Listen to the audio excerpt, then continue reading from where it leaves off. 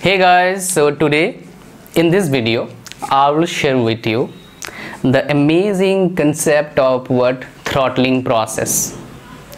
Okay so first start with the name. So throttling process is known as also known as or can be also termed as joule thomson process. All right joule thomson process.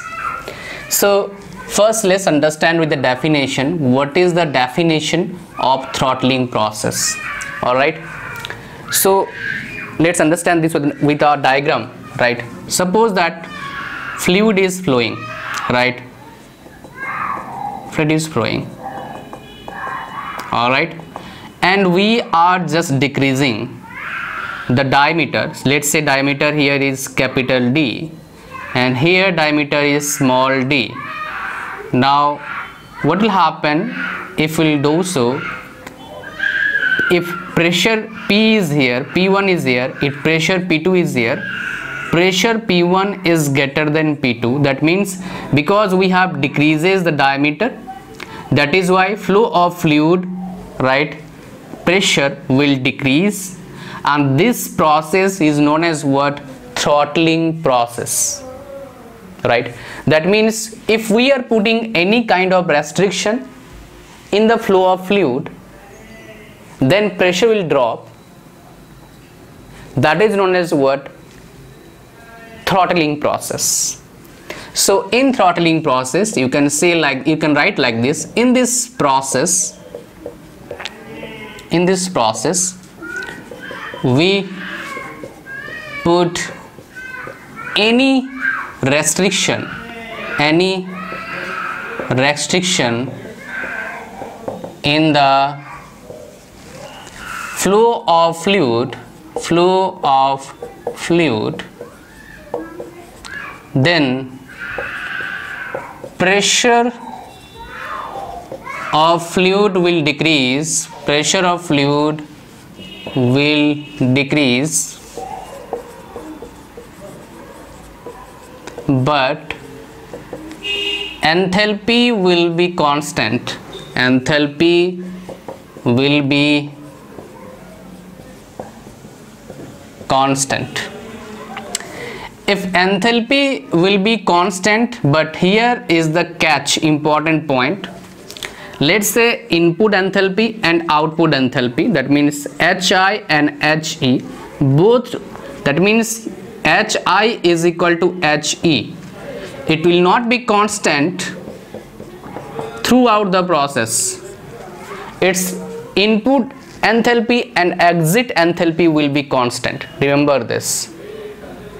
Here we make mistake right? And this process constant means input and exit enthalpy will be constant in this process. So that means same enthalpy will be same. Same means what? Iso. So we can say this process as isenthalpic process. Isenthalpic process. Well let's understand this with another uh, another equation. Steady flow energy equation. Right here i will share two concept with you. But first of all let me share with you few applications when flow of fluid is going through porous plug p o r o u s porous plug that is an example of what throttling process or joule thomson process. Second in case of throttle valve throttle valve where we use throttle valve that is VCRS after condenser we used throttle valve to decrease pressure and maintain enthalpy as constant. Maintain enthalpy as constant.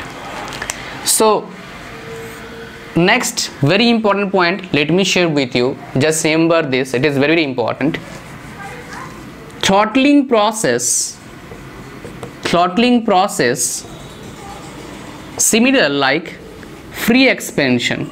That means it can be like free expansion process. But but when there are two conditions if these two condition is applicable then we can say that throttling process is similar to free expansion process. What are those consider uh, those uh, those restriction or those consideration we have to consider? First is system should be closed. We have to consider closed system. And the process should be what? Steady flow. What is the steady uh, what is the meaning of steady flow? With time things will not change. And here we are we have to use steady flow energy equation in order to prove that enthalpy in uh, input or inlet enthalpy is equal to exit enthalpy. So what is the equation? Uh, basically h1 plus c1 is square by 2 plus gz1 plus q is equal to h2 c2 square by 2 plus gz2 plus w. Now let's understand few important concept. This process takes place in uh, we have to consider it. In reality it is not it is not possible. This is what adiabatic process. Man means this whole system is well insulated. Then only it will be adiabatic. So if it is adiabatic there will be no heat transfer zero. If there is no heat transfer definitely there is no work done zero. Now in this process if we refer many books they are saying kinetic energy and potential energy is same. No it is not the case kinetic energy and potential energy is not same. But there is very negligible change little bit change. That is why we consider kinetic energy and potential energy they will cancel each other. Because there is very tiny change.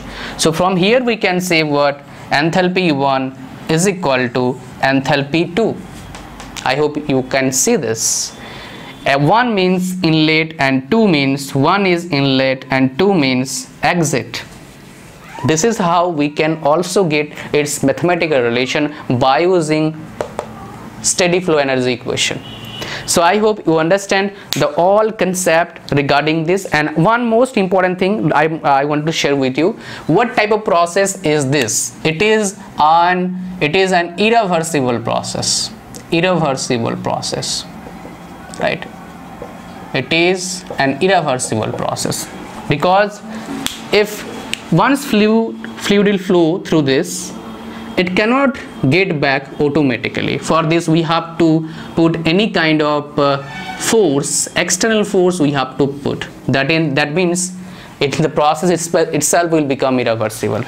All the processes going on in the world even as i'm talking with you this is an irreversible process i'm writing this is an irreversible process. There's a vehicle right? We can hear the horn. This is an irreversible process. Well thank you very much. See you soon in my next video. Bye bye